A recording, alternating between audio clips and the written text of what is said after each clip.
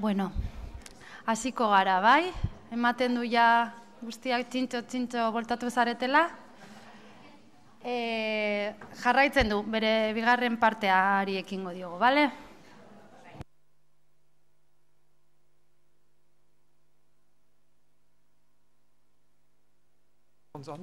Okay.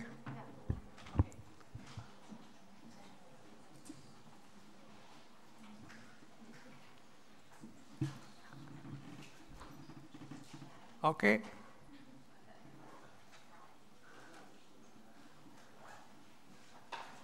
Okay, let's uh, let's continue. So, the way I thought we continue is, uh, I thought I'd finish uh, explaining the model and, and all those dimensions, and then maybe we take a break for your questions and for your hopefully very critical questions before we then look at material and very practical ideas that we have uh, provided, that we have already published, uh, to show how these things can be implemented.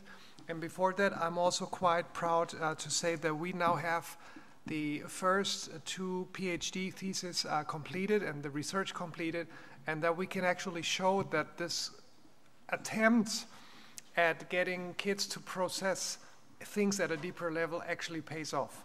And that we have, we seem to be confident to say that we have found ways of actually promoting uh, subject specific language skills and understanding in students. So, based on everything we said so far, uh, here's our original model, which is part one. So, we do believe that in order to really learn things at a deep level. Students basically need to do one thing, even though it's very complex. So they need to connect the thinking and the speaking. And it's actually uh, this bridging when learners connect the subject contents and their specific skills, and if they're able to talk about these things, that we see deeper learning happen. And that goes for all the four dimensions of subject learning or any kind of learning that we talked about earlier. So it's it would be wrong or it would be misunderstanding our ideas uh, to say they're just about language. That, that's not it. Okay, language is really important, but the doing is as important as the communicating and the reflecting. That's why we followed this Australian approach and we picked up these four dimensions because for teachers it's really easy to say, well, there's four dimensions it's the doing, the organizing, the explaining, and the arguing that we need to focus on. Also, if that is actually true, if these domains are similar across subjects, then it's also a great way of mapping progressions in different curricula. So our job then as teachers is simple. It's take the potential of our learners, the meaning making potential that we see in this blue circle or sphere, and make and extend it. So help our kids understand things at a deeper level and the way they understand things at a deeper level is by giving them opportunities to do things in subject specific ways and communicate and reflect on that understanding in appropriate subject specific ways. This is how we envision progression. This is what we believe is deeper learning.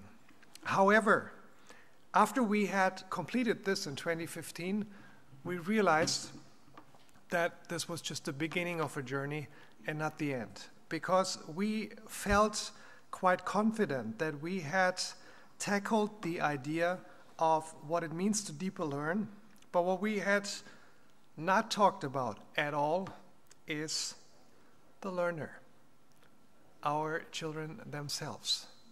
And uh, in another project, we were uh, developing a huge interest in engagement, in what it takes for learners to become engaged. And what we learned from uh, the review of that research is that engagement is the key to learning. So we need our learners to be engaged. And the difficult thing about engagement is that engagement is now considered to be a multidimensional construct. Uh, so engagement actually is not only cognitive, but it is also emotional and it's behavioral. And where this gets tricky is that they influence each other. So, what that means is that a child who does not feel well at school, who does not feel respected, who does, is maybe hungry or doesn't feel safe, will not be able to engage in the same way on a cognitive level as a child who does. So, if we can't provide an atmosphere where kids feel safe and where they can engage on an emotional level with the topic and with us, they won't learn the same way. And of course, if they're not engaged emotionally and cognitively, it will not translate into a specific kind of behavior. And what that means is it doesn't matter how much we know about deeper learning and how good we are at breaking things down if we don't at the same time include the learners and make sure that we keep engagement high. And that is something that I think we don't do enough. Okay, we're still too focused on the learning instead of focusing on the learner. Okay, we're much more focused on where we want to go than on making sure that we don't lose our children along the way. And that is very problematic, and these are things I learned from working with psychologists, is engagement affects everything else. So if a child does not engage, if he feels that he or she cannot master a task because it's obviously too difficult. Why should they care? If we feel that something is way too difficult for us and we have no chance at succeeding, we usually don't put in any effort. And if they reflect on this, and that's what kids do all the time did I do well? What about others? What, how do they see me? And, and who am I? And if they have these experience, if they experience failure all the time, it will in turn affect their sense of self efficacy. Because, put quite simply, they will think of themselves as losers. And if they're losers, and if they're convinced to be losers, why should they engage? And what that means is that there's no way we can talk about deeper learning if we neglect this dimension. And the reason why we put so much effort uh, or why so, so much emphasis on this is based on Carol Dweck's uh, research on growth mindsets. And she basically says we need to rethink how we see intelligence, how we see talents, because there's growing evidence that if a child believes that he or she is capable of making progress. And if they put in enough work, it's not about them feeling good, but in them believing that if they put in the work, if they put in the effort uh, and, and, and, and do all the uh, tasks and the repetitions and the practice and everything, then they can grow, then this will affect, affect their performance. Whereas children who have a fixed mindset, who believe that they're bad at certain subjects. And we're really good in our system to transport these messages, like girls are bad at math, they're bad at science. If we start believing in this, or boys are not as talented when it comes to languages, when we start to believing them, uh, these things, they will become self fulfilling prophecies. And I have learned I think most about these things from a book on teaching maths. I'm not a math expert, but this book by Jo Boaler, which is called Mathematical Mindsets, has taught us so many things. And this is an image that she presents in her book saying, you know, this is what happens in the brain of a student with a growth mindset when he or she is making a mistake. And what happens is that this brain lights up, which means it's learning. Whereas in a student with a fixed mindset, when he makes a mistake, nothing happens. Because for them, mis- mistakes are not an opportunity. And one of the most fascinating chapters of her book is when she talks about uh, the reasons why, th- why she thinks that Asian students are, tend to be better at math than our students. And she says she spent quite some time in Asia looking at classroom, and she said, and what they did, which something she never experienced in British or US classrooms, is that by the end of the week, students would produce and present their mistake of the week. Okay, saying, look, this is my favorite mistake because this mistake helped me learn understand that and that. Or this is mine because I learned how to handle this problem through that mistake. And I don't think we do that at school. I don't think, honestly, I don't think we really consider mistakes to be some, as an opportunity to learn. And in some countries, we even have a way of counting mistakes in language classes, saying, you know, in your essays or in your article, you made 17 grammar mistakes. And that's why it's an F. Okay, but what that will do is turn that person's mindset into a fixed mindset, saying, I'm bad at writing languages. And it's, when it comes to languages, this is even more absurd because if you look at the documents from the, people who wrote the, uh, the framework, there is amazing documentation that mistakes are normal at every level of language learning. So this is just typical, and they can even map the certain mistakes that students make at certain levels. It's normal. The only people who seem to have a problem with that is us teachers. And when you really think about this, this is weird. Okay, because we should know better. Anyway, so this is research that Dweck and others have published. This is rather new. I think it's from 2017. And it's really, really mind boggling because they had access to all the student uh, data of Chile. And what they compared is performance in the final tests in both languages and math. And what they did is map progress and achievement in relation to family income and uh, achievement and mindset. So those students on the dotted line, those are those students with a growth mindset, and the others are those with a fixed mindset. And what you can see is how impactful mindset seems to be on performance at every level. It even seems to indicate that if we work on our students' mindset, that seems to be a way of fighting social inequalities if that is what we want. Because what you see here is that students from the lowest income families in both math and languages with the right mindset do much better than kids from the richest families with a fixed mindset.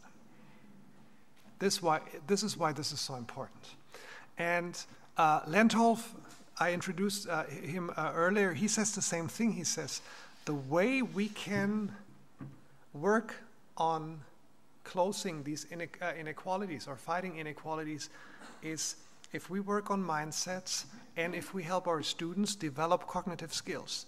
And he says, showing them how to explain will teach them how to understand. And that is why he speaks of a linguistic imperative. He says, if we're serious about this, then we need to make sure that parents, teachers, and everybody else knows how to teach their children how to think. And the way we teach children how to think is by teaching them how to use the right kind of language. That's why this is so powerful. It's not just because if people use academic language, this is you know, sounds nice or it looks nice on paper. That's not it. It's because it's how we help them learn, how we help them build knowledge, and how we help them become better at stuff. And where this becomes really, really mind boggling is here because uh, Jo Boaler, uh, no, that's uh, Carol Dweck, I'm sorry. She's really clear when she says, you know, we as teachers have the power to change our students' mindsets. We can affect the way our students think about themselves and how much effort they put in if we either encourage them or if we discourage them. It's our choice. And the way we do this is that way we structure and design our lessons. So, are we really teaching for understanding? Do we provide feedbacks and do we give them opportunities to revise? It's so important because that will help them develop the right mindsets. And that mindset is, I think, one of the main components which helps them succeed later once, they're, uh, once they quit school. But they need us teachers to do that. And unfortunately, and of course, since we're just human beings, we don't all have a growth mindset all the time, and we don't have uh, perfect skills. And as uh, I can show you in a minute, we make so many mistakes when it comes to feedback. And I'll just show you a short movie because I had to watch it several times to understand the implications of this. So, this is the research that they did, and then we'll talk about the consequences. To solve. So you see these blocks? Can you tell me what color is on that side? Red, yellow, white, blue. Alright, so what I want you to do is put these blocks together so that the picture on top matches the picture here, alright? First, we give children a set of easier puzzles to do. Now here's the next one. When these 9 and 10 year olds successfully put together the puzzle, the children are praised for either their intelligence Wow, you did really well. You must be really smart at these. or the effort they made. Wow, you did really well. You must have tried really hard at these. Then we give them a much harder set of problems, ones that they might, in fact, struggle with. Here's the next one. And we see what happens to their confidence. Do they think, oh, this means I'm not good at it after all? Do they stop liking the puzzles? Or do they maintain their confidence and think, well, it just needs more effort or strategies? What happens to their motivation? You ready to go on? Ta-da! We also ask them, well, what, which problems do you want to work on some more? Those easier ones or those harder ones? And generally, we find that, that kids who have been praised for their intelligence really want to go back to those easier ones that were their kind of their claim to fame. Now, maybe we, we should repeat this because this is really a bummer. Kids who were praised for their intelligence always tend to select easier exercises next. And what that means is if we tell as teachers, if we say things, even though if we mean well, but if we give intelligence praise, thinking we are actually doing a good thing, we are actually limiting their learning. And that is something that, that really takes some time to understand. So, if I tell a student, you're really good at this, you're really good at math, or you're really good at English, chances are that he will do anything in his power or her power to keep that label. So I want to keep being an A student. And if that means selecting easier tasks, or cheating, or whatever, then this is what students will do because they want to keep their label. And, and it's fascinating. If you, if you read uh, Carol Dweck's books, she keeps telling these stories, and she said, You know, it took me quite a long time when I was sitting at airports and listening to parents and how many mistakes they made when they were praising their kids to just sit there and not try to interrupt and say, Wait a minute, what you do is wrong. You need to focus on effort, not so much as on intelligence. It just goes to show that what we do as teachers is a very, very demanding and complex job. And we cannot train enough for this because obviously there are things that we affect in our students without being aware of this. So we praise all the time, but if we praise in the wrong way, we're doing more damage than we actually achieve. And what that means, and that's the problem, it's, it's far from, from easy, is if we're serious about deeper learning, we have to whole, look at the whole package. It's not just the, what the elements of knowledge. Is it factual information or conceptual or is it skills and how do we promote them? But it's also how do we interact with the students to make sure that we keep them engaged and to make sure that we don't limit their mindsets.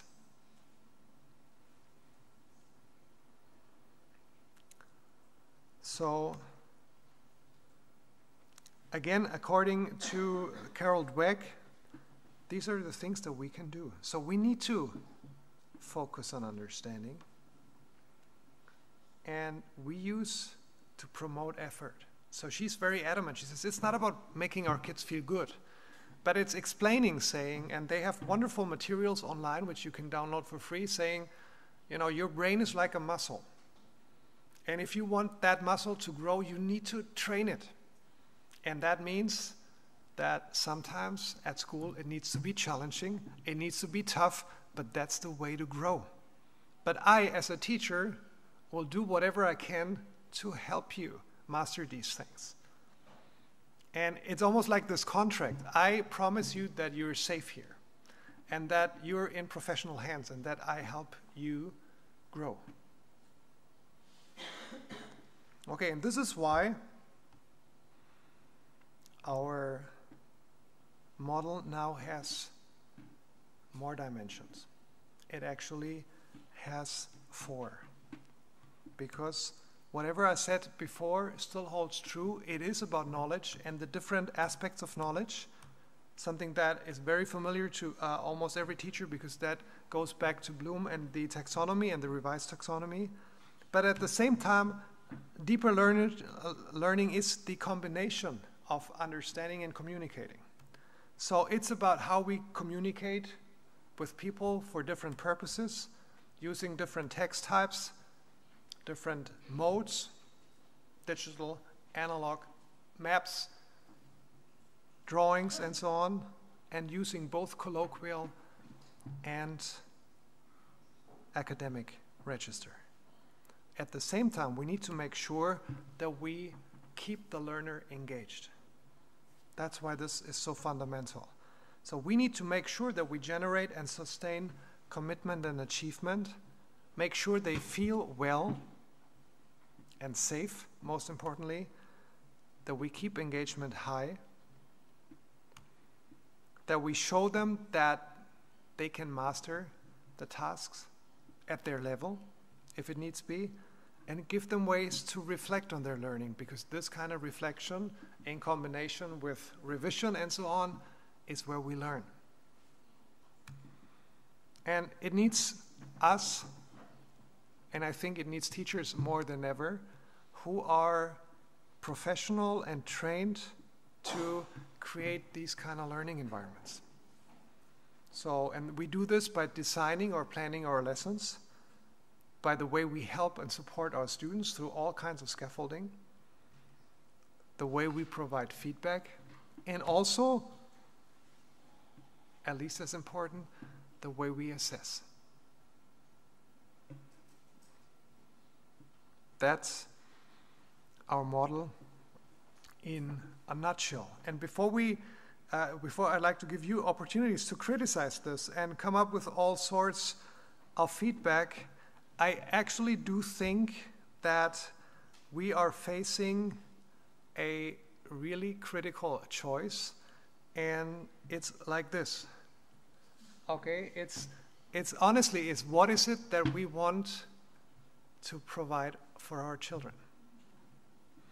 And most teachers I talk to, they agree. They say, you know, we there's no discussing or debating that we should focus on quality.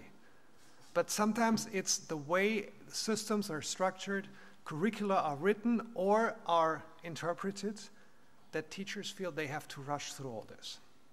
Or that they feel, I totally agree and I'd like to teach that way because I feel this is what this is why I became a teacher, but I'm not allowed to do that.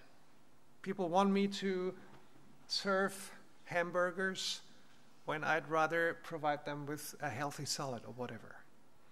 And what it does mean, and I found that on Twitter, is we just need to have the courage to slow things down. Because it's, I uh, honestly think the, the way to speed up learning is by slowing it down. Okay, that's a first attempt to describe the model. Okay, and I'm, i know it's, it's probably a lot to take in. It, you, it took us years to understand it. So I'd be very surprised if you could just say, okay, let's move on. Okay, so if you have questions, criticism, please ask, and then we can uh, show you, I can show you materials and show you how to plan for these things because that's what I actually do for a living. So our master students have to learn how to plan lessons and materials that way. And most of the time in our seminars, we focus on teaching English as a foreign language. And since we're not happy with the way that most textbooks are designed at the moment, uh, it is their task to create digital textbooks which we then use on iPads because they offer so much more than what traditional textbooks uh, can do at the moment. So maybe just a, a few moments to take a breath and then fire away with your questions and hopefully I can handle them.